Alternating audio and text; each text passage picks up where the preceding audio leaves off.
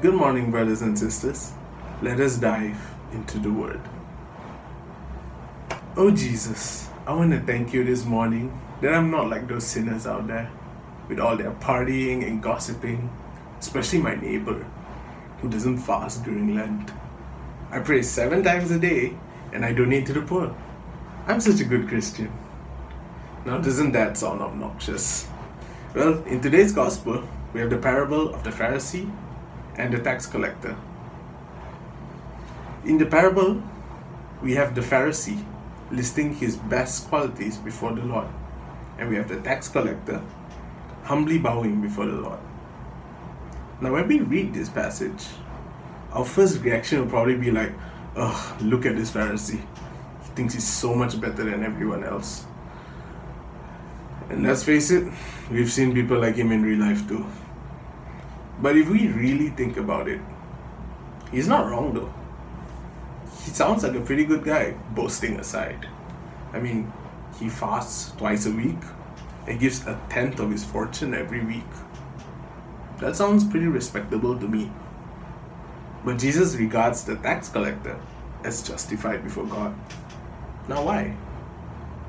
Because one went to the temple to praise God, the other went to the temple to praise himself.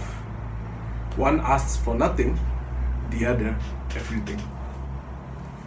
Both indeed were good men, but the Pharisee believed himself to be better than everyone else.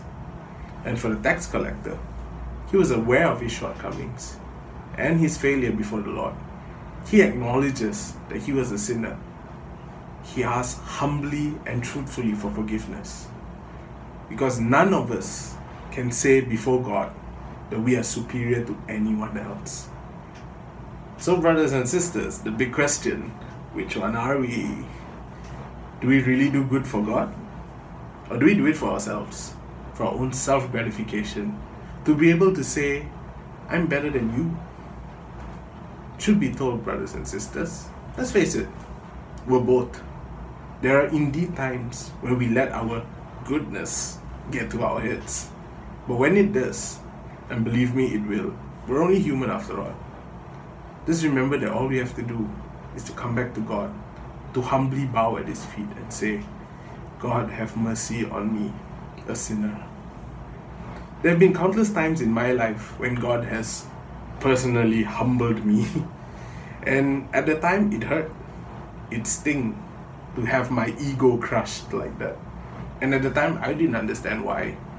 But looking back, I understand that God wanted to humble me so that He could mold me every day into the person that He wants me to be, to be the best version of myself, to carry out His will in this world. For all those who exalt themselves will be humbled, and all those who humble themselves will be exalted.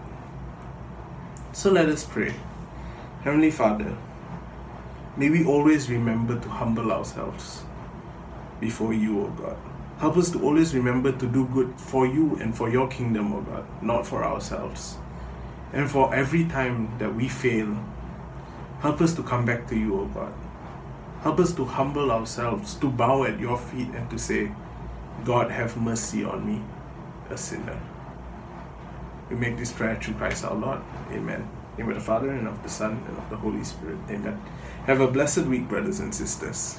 God bless.